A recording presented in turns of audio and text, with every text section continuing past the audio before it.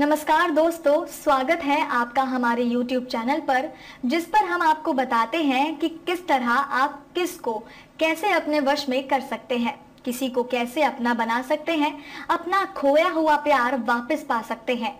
आज फिर एक ऐसा ही आसान सा मंत्र एक ऐसा ही आसान सा वशीकरण का टोटका, जो आज मैं आपके लिए लेकर आई हूँ। अगर आप इस वशीकरण विधि को बताए गए तरीके से संपन्न करते हैं तो निश्चित रहिए आपका मनचाहा कार्य पूर्ण होगा और वो व्यक्ति जिससे आप प्रेम करते हैं, आपके वश में हो जाएगा। तो आइए बताती हूँ कि वो विधि क्या है। पर उससे पहले उस सामग्री के बारे में आपको बताते हूँ, जिससे हम इस वशीकरण में आवश्यकता होगी। और वो सामग्री मात्र एक कागज़ है। जी हाँ मात्र एक कागज़ की मदद से किस तरह किसी को वश में कर सकते हैं यह आज मैं आपको बताऊँगी। हमें चाहिए एक कागज़ और एक मार्कर। इस कागज़ और इस मार्कर की मदद से आप किस तरह किसी को भी अपने वश में कर सकते हैं। और देखिए किस प्रकार एक सिद्ध मंत्र के उच्चारण से वो व्यक्ति आपके वश में हो जाएगा। तो आइए मैं आपको बताती हूँ कि आपको करना क्या है। आपको एक प्लेन पेपर लेना है और ये कागज़ सफ़ेद होना चाहिए तो बहुत बढ़िया रहेगा। अब इस कागज़ पर उस व्यक्ति का नाम लिखना है, जिसे आप वश में करना चाहते हैं। उसके बाद कागज़ को फोल्ड करना है। दर्शकों, कागज़ छोटा ही होना चाहिए, ज़्यादा बड़ा कागज़ लेने की आवश्यकता नहीं है। तो इस तरह इस कागज़ को फोल्ड कर लेंगे।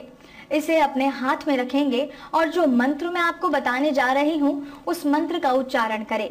जब उस मंत्र को 21 बार उच्चारण करेंगे तो जो व्यक्ति है, जिसे आप अपने वश में करना चाहते हैं, वो पूर्णता आपके वश में हो जाएगा। पूर्ण रूप से सिर्फ़ और सिर्फ़ आपका ही होकर रहेगा।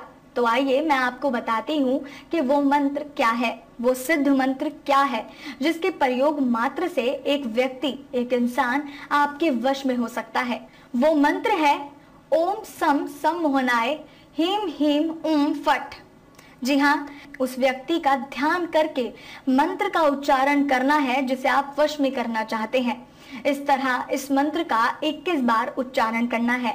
उसके बाद ये जो कागज़ है, इसको तीन घंटे के लिए, मात्र तीन घंटे के लिए सुरक्षित स्थान पर रखना है। मतलब कि साफ़ स्थान पर, जहाँ किसी भी प्रकार की अपवित्र वस्तु या सामग्री ना हो। जैसे आप इसे मंदिर में रख सकते हैं, क्योंकि मंदिर से पवित्र और कोई स्थान नहीं होता।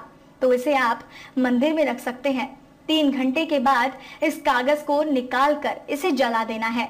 इसे जलाने पर इसकी जो राख बनेगी, उसे इकट्ठा कर लेना है। अब इस राख को आपको बहते हुए पानी में प्रवाह कर देना है। जैसे जैसे आपके कागज़ की राख बहते हुए पानी में प्रवाह होती जाएगी, वो इंसान आपकी ओर खींचा चलाएगा।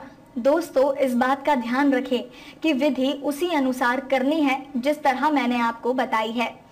जो सही तरीका है, उसी तरह से इस वशीकरण को कीजिएगा। सही तरीके से मंत्र उच्चारण कीजिएगा और उस व्यक्ति को अपना बनाइए।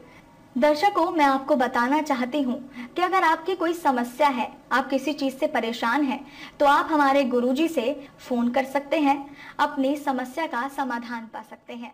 धन्यवाद।